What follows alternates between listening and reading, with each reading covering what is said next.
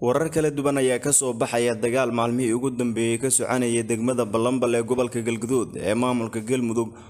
Dagaaladaas oo u dhexeeya laba beelood oo walaalo ah oo wada dega degmadaasi balambale ee gobolkaasi.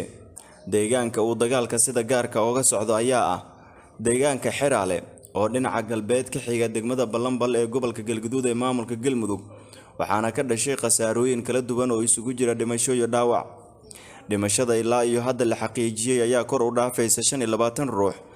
Sida goobjoogayaal halkaasi ku sugan ay xaqiijiyeen waxaana jira tiro dhaawacyo ah oo ka badan sodomeeyo kuwaasi oo qaarkood loo kala qaaday.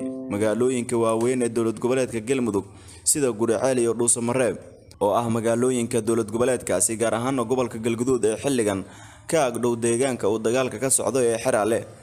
Beelahan dagaalamaya ayaa dagaalkoodu waxaa lagu soo waramayaa inuu salka ku hayo dhuldaaqsimeed ku yaalla deegaanka xeraale oo hoostaga degmada balambal ee gobolka galguduud ee maamulka galmudug dagaalkan oo muddo ku dhow saddex maalin halkaasi ka soconaya waxaa beelaha walaalaha ah lagu soo waramayaa inay helayaan gurmadyo kala duwan oo ka kala imaanaya degmada balambale iyo deegaanada kale ee ku xeeran degmadaasi.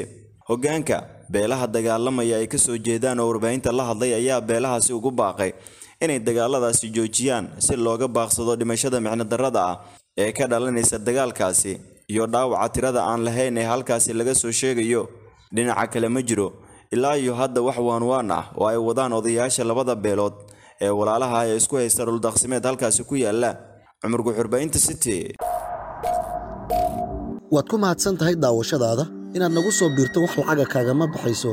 Keliya waxaad u baahan tahay inaad falow saarto boggeenna facebook ama aad sabskraib dhahdo janaalkeenna youtube adigoo bartilmaamaydsanaya city somaali t v an rediyo la jaanqaad warbaahinteenna oo hel warar iyo barnaamijyo adiga kaa hadlaya